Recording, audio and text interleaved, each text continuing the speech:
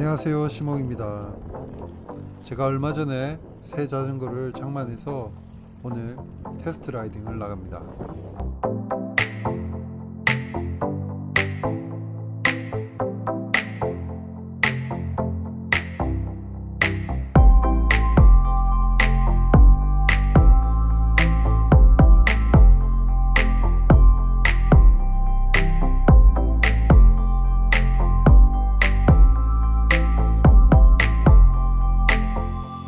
이번 영상에서 소개시켜 드릴 전기 자전거는 랠리 코디악 IE라는 전기 자전거입니다.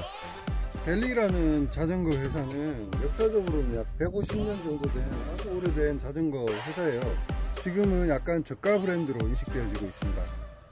제가 랠리 코디악 IE 이 모델을 구입하게 된 계기는 사실은 원래는 이 자전거를 사러 간 게 아니었어요. 지난번 리뷰 영상에서 보여드린 하이바이크 그 다운힐 10.5 모델. 그 모델을 어, 원래는 구입하러 갔다가 어, 그 모델을 사고 사면서 그 진열대에 전시되고 있는 이 모델을 보게 됐죠. 중고 자전거였는데 주행거리가 0인 실제로 신품인데 사자마자 그냥 중고로 팔아버린 비운의 모델이죠. 이렇게 보면 배터리도 안에 일체형으로 들어가 있고 어, 그 다음에 제가 한 번쯤 꼭 써보고 싶었던 보시모터로 같이 구성되어 있어요 하이바이크 10.5랑 비교해서 스펙상 밀리지 않는 그런 자전거였어요.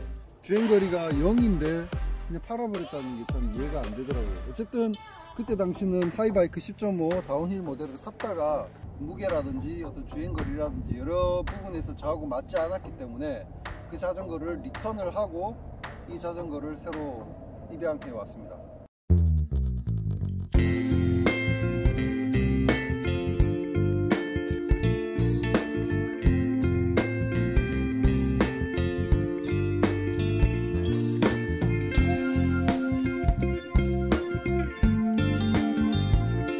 이 모델의 가장 큰 장점이 뭐냐면 뛰어난 가성비라고 말씀드릴 수 있어요.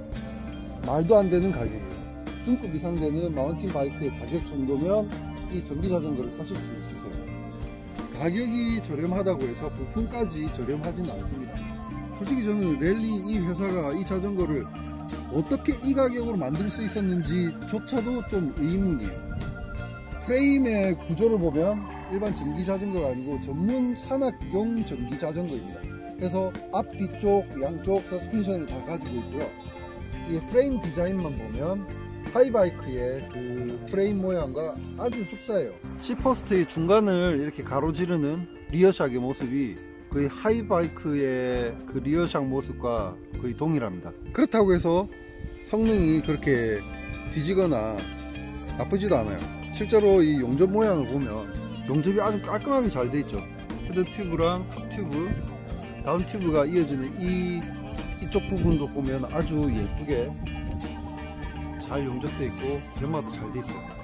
front shock으로는 RockShox의 Reba를 쓰고 있고요. rear shock도 RockShox의 Monarch 그리고 그리고 전동 시스템은 Bosch Performance XC 부품을 사용하고 있고요. 브레이크 같은 경우에도 이름 없는 브랜드가 아닌 4개의 피스톤을 가진 브레이크 실린더를 사용한 Magura를 채용하고 있어요. 변속 시스템은 SRAM의 NX11단 기어를 사용하고 있습니다. 타이어만 보더라도 Schwalbe의 Nobby Nic 2.6인치 두께의 타이어를 사용하고 있어요. 굉장히 하이엔드급이고 비싼 타이어죠. 부품의 구성만 두고 이 자전거를 평가를 하자면 제가 그 전에 탔던 스캇 E 스파크보다 훨씬 더 나은 구성을 가지고 있어요. 어떻게 이 가격에 이런 자전거를 만들 수 있었을까? 제가 생각할 때는 아마 랠리가 한동안 자전거 업계에서 그냥 그 월마트에 들어가는 그 아동용 자전거나 유사산악 자전거를 어 싸게 싸게 많이 팔아서 이윤을 남기는 자전거로 알고 있었는데 그런 어 회사의 이미지를 한번 바꿔보려고 가성비 높은 좋은 부품을 넣어서 전기자전거 시장을 한번 장악해 보려고 하는 음모가 있었지 않을까라는 그런 생각을 해보았습니다.